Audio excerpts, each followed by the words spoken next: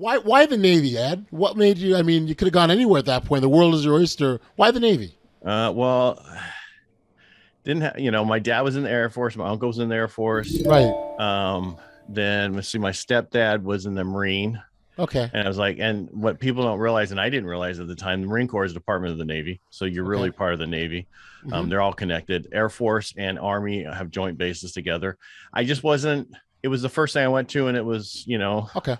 It just happened to work out. They were at my school. I was talking to them. They said I could be a corpsman. I could go delayed in. It was, you know, work. Nobody else would give me the same thing. So they did at the time.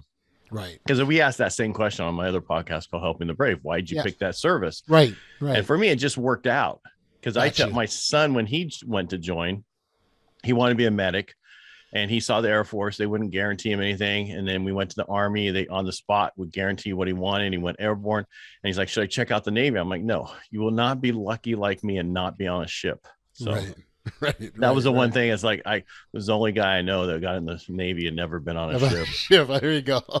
no one will believe you, right? no, but I made sure I didn't, you know, because when I went to when they asked me what specialty school I wanted to go to, um, you know, before I went, I, I don't know if I said it, but I said what was not on a ship, and they said physical therapy, and that's why I picked that one. So. Guy, good strategy.